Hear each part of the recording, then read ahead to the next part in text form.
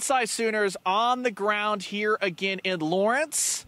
I am not Josh Callaway. I am Ryan Chapman filling in for the absent Josh Callaway. That is John Hoover. We are allsooners.com. And John, we witnessed an absolutely bonkers game here in David Booth Memorial Stadium in Lawrence. The Oklahoma Sooners the important thing they win 35 23. They're 8 0 for the first time since 2004. Yes, this Oklahoma team is the one that manages to go 8 0. Nation leading 16 game win streak. But, John, this was all kinds of ugly right from the start. Yeah, what happened?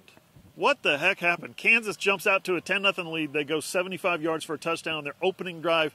They haven't scored on their opening drive all year. They've scored a total of one touchdown in the first quarter all year before today. They did it. Uh, shocked Oklahoma. It was like a it was like a punch to the jaw. Rocked their knees, weakened their knees in the middle of the ring, and Oklahoma didn't have any answers the first half. Oklahoma goes finishes the first half shut out, trailing ten to nothing. Zero points for the first time in the Lincoln Riley era. It's the first time since the Russell Athletic Bowl, before he before Bob Stoops hired Lincoln Riley, that the Sooners have not had a point at halftime. The defense was no better. The offense was abysmal. The defense was no better. Uh, Lincoln Riley talked about how there's a, this was a low possession game. Yeah, because the defense gave up eight out of ten in the in the first three quarters on third down. Eight out of ten conversions. They started seven for eight. It was just ridiculous. I think Kansas finished the, the game nine for 13 on third down. They had a 100 yard rusher. They had a 100 yard passer. They, uh, a 100 yard receiver. They had a, almost a 300 yard passer. These are statistics that this Kansas football team we didn't think was capable of. We looked at their defensive rankings, their offensive rankings going into this game, 100 in just about every one of them 118, 124, 129, 130 in one of the offensive defensive rankings. And they're just moving the football up and down the field on the Oklahoma Sooners tonight. Unbelievable. It was so bad, John, that we forgot, we have forgotten as a nation that the power went out in this here stadium at the end of Kansas's first scoring drive. I, I felt bad for Jayhawk fans initially because I, I turned to some of our friends on the field and said, man, the Jayhawks here today, they're not even going to get to take that classic scoreboard picture of Kansas up yeah. seven to nothing. Turns out they held on long enough for them to restore power on campus, but out of the break, John, the offense turned it on. Caleb Williams shook out of whatever funk he started in. True freshman starting his first yeah. conference road game makes sense and they went on five straight touchdown drives. The offense did 320 yards of total offense here in the second half. The running game got going a lot because of Caleb Williams, but not before Trey West, of all people, back from the portal, back where, from the land of the lost. Where did that come from? A 60 yard reverse that I, I, was telling you, John, if you look on our website, allsooners.com, you have the offensive highlights. I'm telling them myself here, but it was such a good play fake over to the right side of the field that I was totally lost. I was like, oh gosh, oh gosh, he's running down the field. And that's what ignited the Sooners. Uh, it was wild. You had a 40 yard touchdown run. Again, Caleb Williams gets it done. But, John, I saw this on Twitter. I kind of want your thoughts on it in the weirdest of all places, an actual close ball game in Lawrence, Kansas, Caleb Williams might have had a Heisman moment a Heisman on a moment on a backyard football play. What happened against KU? A Heisman moment. Who would have ever thought it? Uh, the fourth down, Oklahoma gets a gets a comfortable lead. Kansas immediately responds with a touchdown and two point conversion falls short. So it's 28-23 in the closing minutes. Oklahoma says, you know what, we're going to go, we're going to run this clock out. They get to midfield, they get a fourth down, they hand it to Kennedy Brooks off tackle. Kennedy Brooks gets stuffed at the line of scrimmage. He's short of the first down, and he is, as he's getting pushed back, Caleb Williams reaches in, takes the football from him, and Kennedy Brooks said he knew it was Caleb, so he let him take it. Lincoln Riley said, We talk about plays like that. We don't practice them, but we talk about plays like that. And of course, we didn't get the chance to talk to Caleb Williams, uh, the freshman rule. I requested him, was de- denied. Would love to have known what he know, what he knew about that play.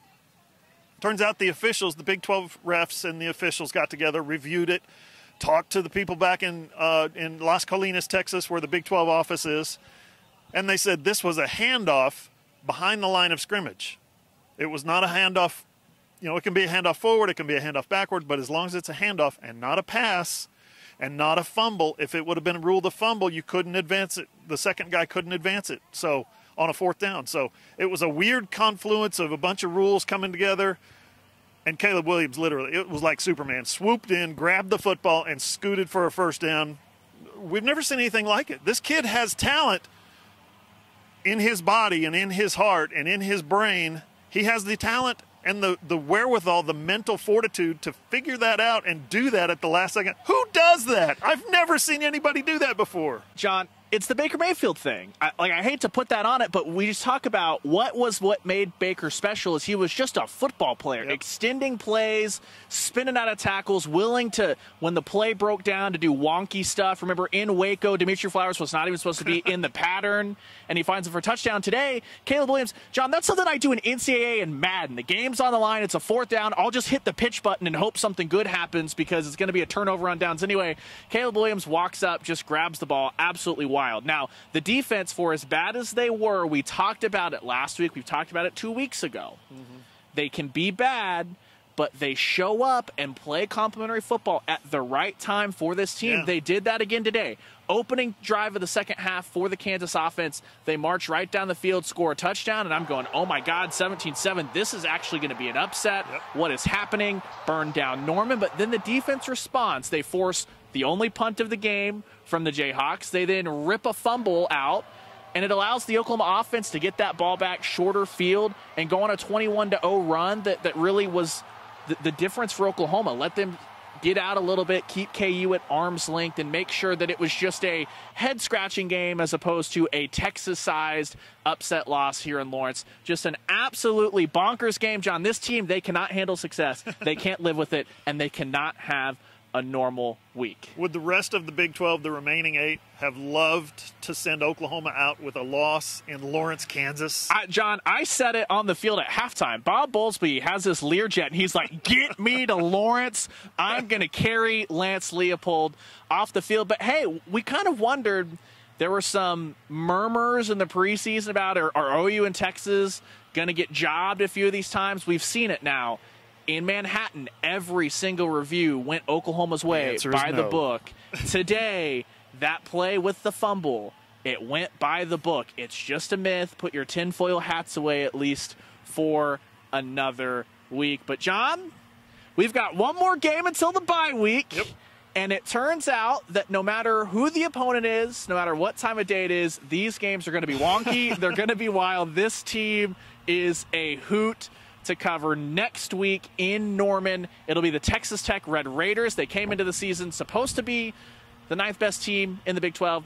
But you saw what happened today. That clearly doesn't matter. That game's at 2:30 on ABC. In the meantime, head over to allsooners.com. That's where all the content is. As we said, Josh Callaway is not here today, but he did not have the day off. He was back in Oklahoma City doing everything I normally do: the quick takes, his game book, getting up all those players' zooms. So get all that as well as Lincoln Riley, Alex Grinch. They spoke to the media. Bossman Hoove put those up as well as all of John's coverage from the entire day. A very, very wild day in Lawrence indeed. But we'll be back, allsooners.com, SI Sooners. That's the place to be. Until next time, we'll see ya.